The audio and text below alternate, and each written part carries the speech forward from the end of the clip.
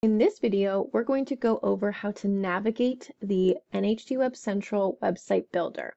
We're going to start with all of the elements across the top of the page in the toolbar. Then we're going to talk about the elements on the right-hand side of the page. We're going to start up here at the NHD Web Central logo. Next to the logo, we see a desktop view of our website. This is the default view. You can also view your website in tablet and mobile.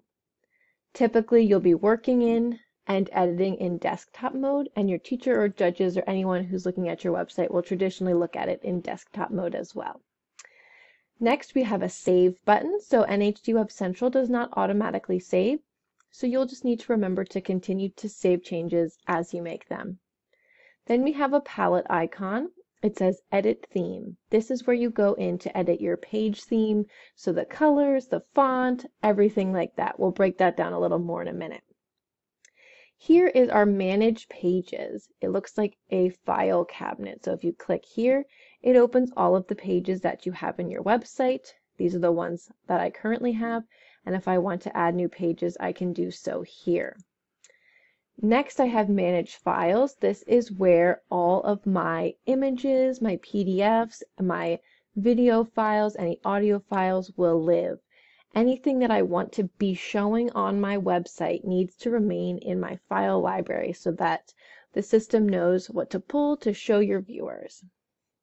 You can double click here to open elements from your computer, or you can drag and drop elements into your file library from your computer. Anything that's been uploaded is in here and you can you can view it. Next, we have this page option. This shows you all of the pages on your website and help you jump from page to page when you're editing. You can also click Open Manage Pages to see your pages and to create new pages as well. We have this button here, which is the grid line. So it'll show you, right now it's on, so it's showing me these lines. If I click it, I don't see the lines unless I hover over them. So that might help you as you start to build and edit your website to see what it will look like for your viewers. Additionally, you can click this preview button to preview changes that you've made on your website, but keep in mind you have to save before clicking the preview button to see the changes. Here we have a full screen mode. Here we have the ability to view the page code. We have an undo option, and we have a redo option. We have a trash can if you want to clear all of the elements on a particular page and start over. We have the option here to import code, so you can import HTML and CSS code. No other code will work. So if you're familiar with using HTML, CSS code, you can do so here. This question mark is the help button and it will show you information about getting started for the year and then it will give you information on what to do if you run into any questions as you're building your website. Next, we have the palette icon again and the save button again. Depending on the size of your screen, you could see the save and the palette button on both sides, or you'll just see them over here. It's okay if you only just see them once. So the palette icon opens up the site theme manager. That's where you can set your font, your page theme, all sorts of fun stuff there. And again, save, that's where you save any changes made to your website. Then we move over here to this paintbrush, gear, lines, and squares. So the paintbrush, if I were to click a button on anything on my page, I would have all of these options that appear here um, under my paintbrush option. So this is some more advanced features, but you can ignore these for now. If you want to get into these details, you can go in and, and take a look. But for the most part, you won't need to get into all of this right away. Then we have the gear button and the line button. These are not relevant, so we don't have to worry about them.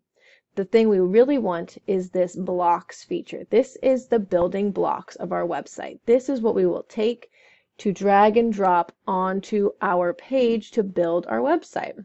So for example, I can drag and drop a title. I can drag and drop a subtitle, a shorter header, a section header with some text. I can drag and drop just text, primary source quote, secondary source quote, image and source credit. Um, what else do we have? M embed an MP3, MP4, PDF file. So all of these elements you're just dragging and dropping onto your page. I'm going to use this trash can button to clean my canvas really quick so we can go through some more. So we have an auto navigation button here. We have navigation buttons, hyperlink text, and custom code. The auto nav will automatically create a navigation bar that, that you can put anywhere on your page. It automatically goes to the top, but you can move it around. But any page that you have built will start to appear in your auto nav bar. So you don't have to worry about linking pages together as long as you have an auto nav bar at the top of each page it will take care of it for you. So that will help you and your viewers, your judges, easily go from page to page to page on your website.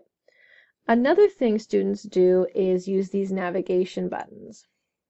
So I want to create a button that links this page to page one.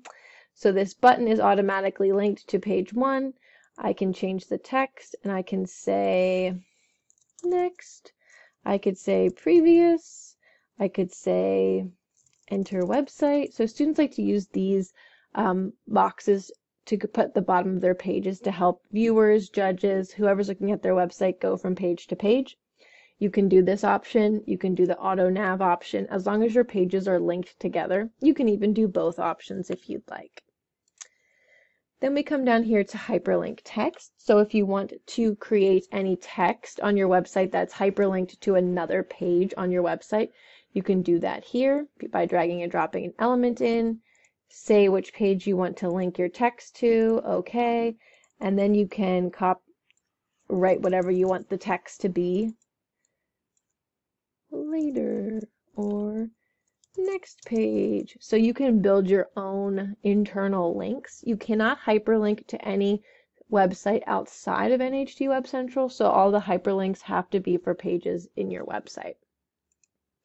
And then we have custom code elements. So much like this feature up here where we can import our own HTML, CSS code, you can drag and drop in a block to do that as well for a specific element you might want to build on your page. Down here we have structure. So if you want to add horizontal lines to your page, if you want to add spacers between elements, you can do that there. Then if you um, want to see kind of what your page looks like without these little lines. So if I were to add a bunch of spacers like this to kind of go between my elements, but I don't I don't want to see that's not what the judges or your viewers are going to see these lines here. So if you just click this button, it will show you what your page actually looks like. So you can see that horizontal line I added, but those three boxes that I added as spacers, as a viewer, I don't see them. It's just in this editor mode that I see them. Then we come down here to easy layout. So this is how you can lay out elements of your page. Instead of just dragging and dropping them randomly onto the page, you have a number of options. So Flexbox will give you two columns here that you can be flexible with. Um, so I could add text into one, and I could add an image and source credit into the other. So this just helps you format your page. So there's a variety of different options. The flexible one allows you to change, like I want a little bit of text, but I want a big image, or I want lots of text and a small image. So you can play around and be flexible with that option. There are more standard options where there's two columns, but you can't change how large they are. This is just the size they are. Um, you can do three columns, you can do four columns, but you cannot edit the size of these like you can with the flex boxes. So it's just up to you what you'd like to do. Um, then you can see that there's also a 343. So that means a, a smaller, a larger, and a smaller. Um, 3, 7 is a small and then a large, and a 7, 3 is a large and a small. So you can play around with this kind of see what you'd like. And with any of these options, you can just plop an element right in there. Like this, and play around with the sizing. It's up to you how you'd like to format your page, but there are lots of different formatting options where you can drag and drop these elements up here into them. So play around with it, see what you like, see what works best with the elements that you're adding to your page. And then down at the bottom, we have one last element that is new for this year. First, I'm going to clear my page. Then I'm going to drag and drop in an image carousel. The image carousel will show you all of the images that are currently in your file library that you can add to the image carousel, or you can double click here to upload files from your computer. You'll pick an image from your image carousel one at a time, um, or you'll pick an image from your file library one at a time to add to your image carousel. Um, it will automatically have you do two, but you can continue to add additional images once you add one. I haven't added any yet, but I'm going to show you. Once you click on the outside of the carousel box, you can click this plus button, and that will change it from two slides to three to four to five to six, however many images you want to add to your carousel. You just click the outside of your carousel so that it highlights the box in blue, which will bring up this menu where you can continue to add slides.